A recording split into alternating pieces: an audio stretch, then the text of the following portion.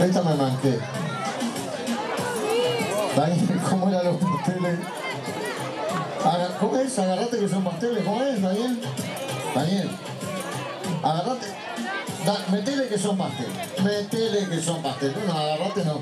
Nos vinimos hasta el cerro de Montevideo, tablado Tío Suárez, acá en el Club Holanda, que está precioso. Y estamos con José Luis, que no solamente es colaborador del tablado, que sino también es el presentador. ¿Cómo te va, José Luis? ¿Qué tal? Buenas noches.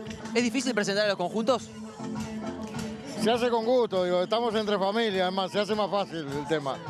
Perfecto. Hoy lunes y está llenísimo de gente. Sí, eh, lunes de carnaval, digo, creo que mm, eso ayuda, pero sí, generalmente la gente colabora. Digo, esto es, esto es para el bien de todos, o sea que la gente se arrima, colabora, tiene buena voluntad.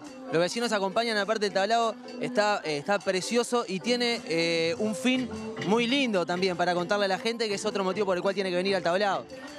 Sí, básicamente lo que se hace acá, eh, lo que hace la comisión, es tratar de terminar, y de construir el merendero para los gurís. Ese es el cometido final de todo esto, que hace ya cuatro años ya con este. Evidentemente todo es costoso, todo es oneroso y todo lleva tiempo y dinero. O sea que mientras se pueda seguir haciendo para llegar a ese cometido, se va a seguir haciendo. Con ustedes la presentación de revista House.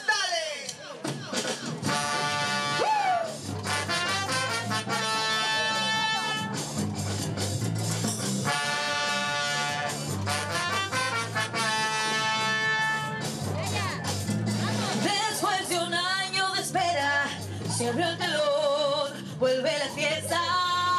Se encienden las estrellas cuando comienza el show.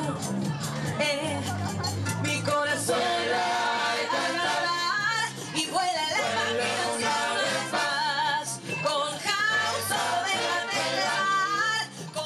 Holanda Junior, me aclarabas hoy, que no, no es Holanda. No, el viejo Club Holanda, de otrora, de muchos años atrás, este, ya no funciona como tal, pero el club de baby fútbol sí, y se denomina Holanda Junior.